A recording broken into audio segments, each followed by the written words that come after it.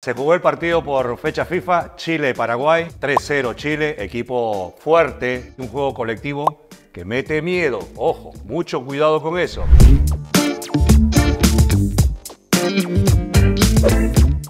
No es un equipo con gran posesión del balón. Esto hace quizá distante la posición que tenía Gareca, el técnico, con Perú, que tenía más posesión con relación a lo que hace Chile, que es mucho más frontal, efectivo y eficaz. Dinámico, con una línea de cuatro, dos volantes de primera línea, dos volantes extremos, uno más extremo que otro, porque Valdés por izquierda, es desequilibrante y Dávila eh, funge de extremo siendo por características un atacante de área. Delante de ellos juega Sánchez, eh, detrás de Vargas un goleador ya conocido por todos nosotros. Ojo, equipo con muchas asociaciones, con poca posesión del balón, pero muy vertical usando amplitud.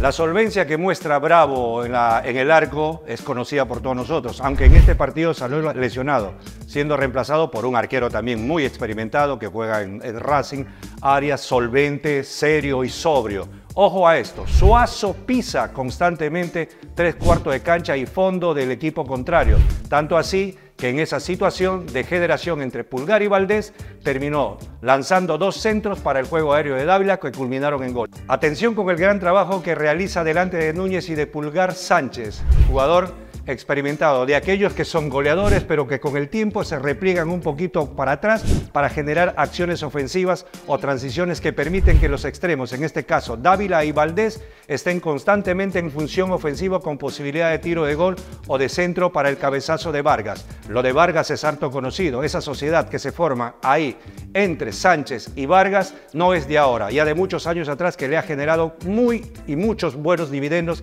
a Chile. Para mí, ¿qué tiene que hacer Perú? Jugar con dos volantes de contención o de primera línea, quizá uno jugando más cerca de Sánchez, el que hace esa sociedad constante para el trabajo ofensivo. Jugar con Cartagena sobre él y Peña quizá acercándose a hacer ese trabajo de ida y vuelta para jugar detrás del enganche que puede utilizar, que en este caso eh, tendrían que ser o Quispe o Flores. Yo me inclinaría por Flores porque te da un trabajo mixto de recuperación y de generación. Para contrarrestar esto, los marcadores centrales tendrían que estar muy cerca, en este caso de Dávila y de Vargas, que son los hombres que son la cara representativa del ataque en, el doble de área de, de, Perú en este caso. A ver, ¿qué podemos hacer para jugar sobre Catalán y Lichnowsky?